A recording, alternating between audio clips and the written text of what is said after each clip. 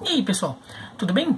Bom, hoje é 15 de abril, é o dia de Jack Robinson nos esportes americanos. O que é o dia de Jack Robinson, né?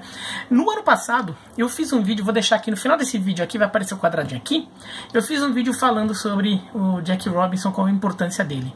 Para resumir, ele foi o primeiro negro a disputar uma partida da Major League Baseball, que na época era a única liga de impacto nacional nos Estados Unidos. A NFL ainda era uma liga pequena que tinha menos popularidade que o esporte, que o futebol americano universitário. A NBA não existia e a NHL era uma liga com impacto muito regional no nordeste dos Estados Unidos.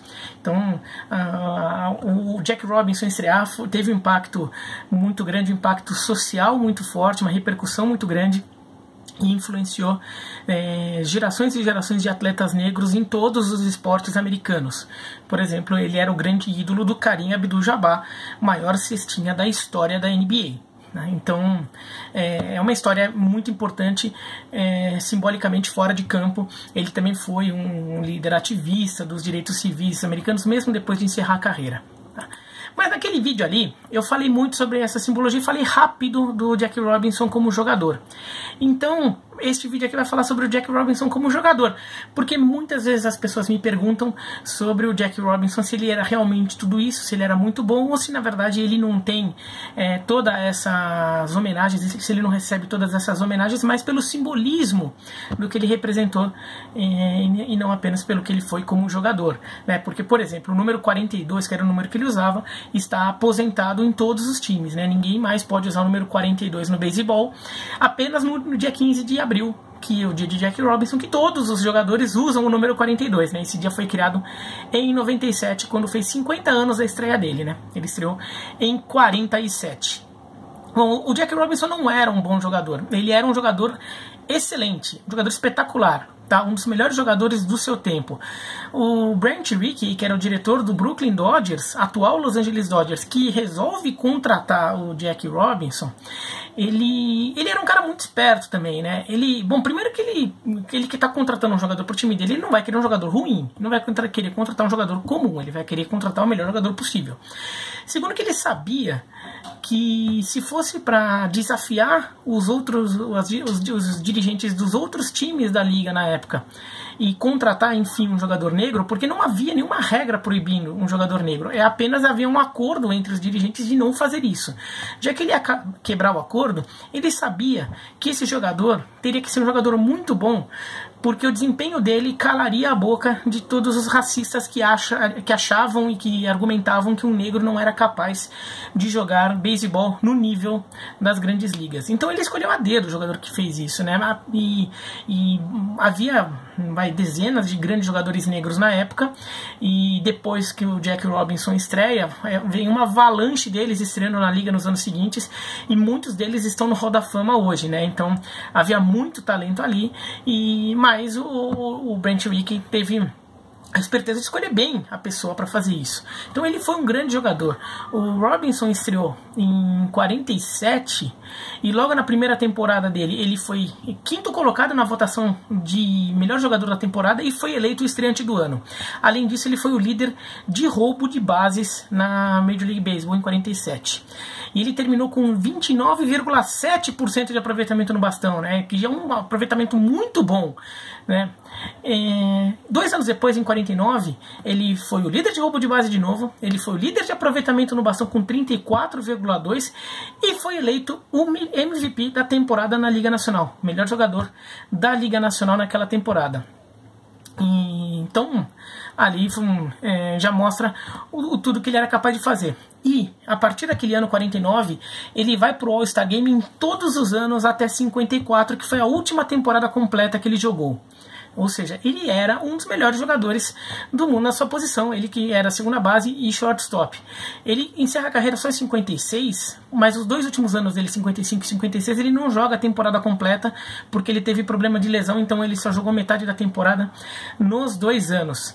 E é uma carreira que foi até curta, né, de 47 a 56, só 10 anos, porque ele estreou tarde na liga, ele estreou com 28 anos, porque justamente havia uma barreira racial, então é, alguns dos melhores anos da carreira dele já tinham passado, né? Os anos ah, quando ele tinha 25, 26, 27 anos, ele poderia ter destruído na liga também e não jogou, simplesmente porque não davam oportunidade para um jogador negro como ele.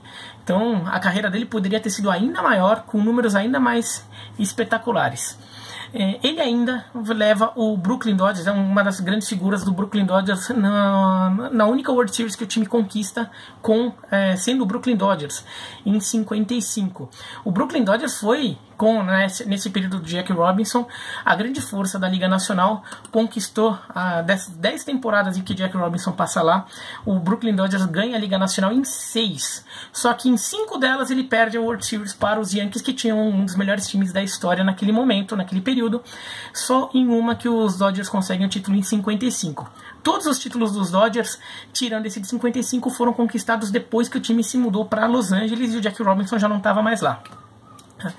Mas aí você vê como ele era uma figura importante num time muito forte. Agora os números individuais do Jack Robinson. Porque a gente falou, eu falei aí algumas coisas gerais, mas algumas premiações, né? Mas os números gerais, estatísticas. Já que o pessoal do beisebol gosta tanto. Tirando essas duas, dos dois primeiros anos dele, que ele tem 29,7% e 29,6%, ou seja, ficou um triz de ter 30% de aproveitamento em todas as outras temporadas completas dele, ele teve 30% de aproveitamento, que é um patamar que a gente usa como referência para dizer que ele, que ele rebate realmente muito bem. Né? Sendo que ele chega a ter 34,2 em 49, né? já falei esse número, mas em todas as outras ele tem acima de 30, ele só baixa de 30% nas duas últimas temporadas porque ele já não jogou a temporada completa, acabou não tendo continuidade em 25,6 em 55 e 27,5 em 56. Além disso, são duas temporadas em que o desempenho dele já começa a cair por uma questão é, de idade mesmo, né? Física, ele já estava com 37, 36, 37 anos.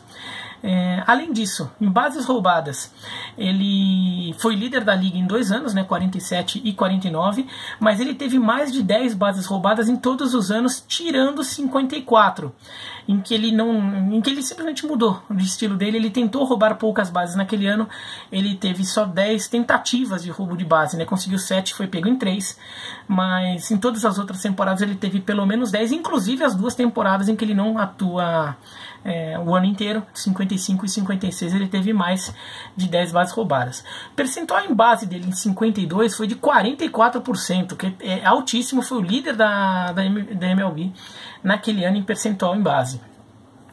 E em todos os anos é, completos, tirando. Uh, todos os anos completos, não, desculpa. Em quase todos os anos, em 8 das 10 temporadas que ele faz, ele é votado para o MVP da temporada, para o melhor jogador da temporada. Ganhou só uma vez, em 49, mas em todos os outros anos ele recebe votos, inclusive 56, que é o ano em que ele se despede. Ele teve um bom desempenho, mas fez só um pouquinho mais da metade da temporada. Né? Em 54 e 55, que são os anos em que ele não recebe voto. Ainda que em 54 ele vá para o All-Star Game. Né? Então, é um, desempenho absurdo ali do, do Jack Robinson. Em playoffs, o grande ano dele foi 53, que ele teve 32% de aproveitamento no bastão contra os Yankees. E ele era considerado um jogador muito clutch, né? Um jogador que aparecia nos momentos decisivos, mesmo quando é, o aproveitamento até era baixo, mas quando ele rebatia era em momentos importantes.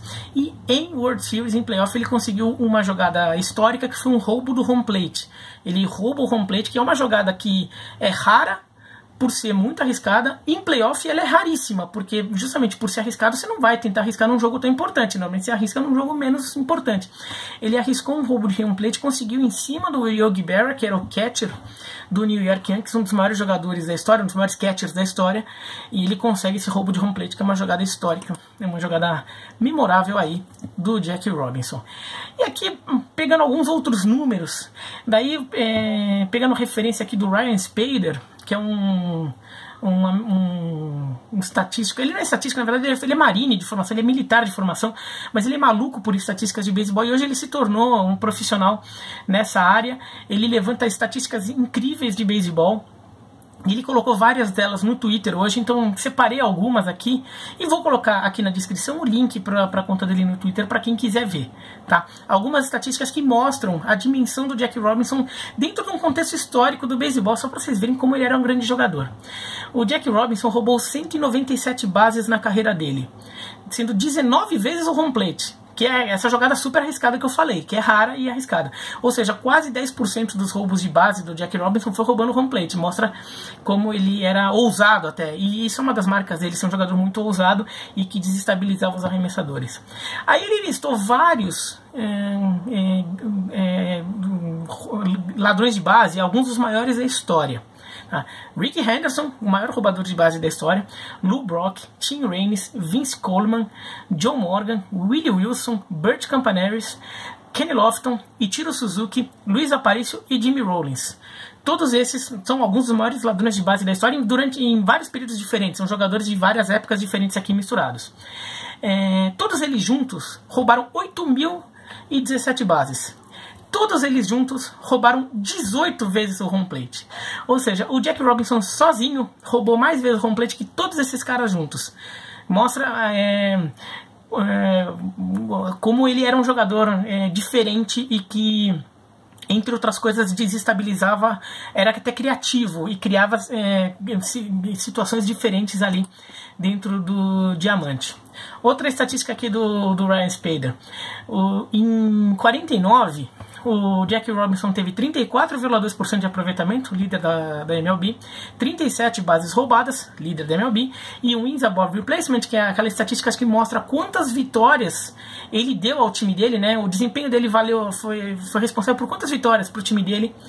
É, foi 9,3, também é a maior marca da liga. Desde 1947, que foi o ano de estreia do Jack Robinson, nenhum jogador conseguiu ser o líder da MLB nesses três quesitos ao mesmo tempo. Então, é, logo no seu terceiro ano de carreira, ele conseguiu uma marca que nunca mais foi repetida.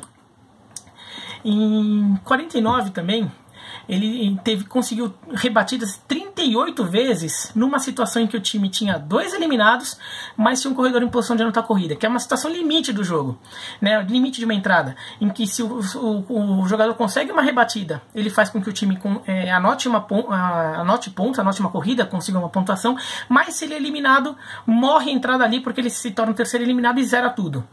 Ele conseguiu 38 rebatidas nessa situação em 49. Desde a estreia do Jack Robinson em 47, nenhum jogador conseguiu essa marca. Até hoje. 38 rebatidas nessa situação limite de uma entrada. É... O Jack Robinson ele teve 31,1% de aproveitamento na carreira. Para ele ficar com um aproveitamento abaixo de 30% na carreira, que é um patamar que a gente considera para uma boa temporada, ele teve como bom na carreira, se a gente conseguir, para ele ter um aproveitamento inferior a esse na carreira, ele teria que ir mais 183 vezes ao bastão e ser eliminado em todas elas.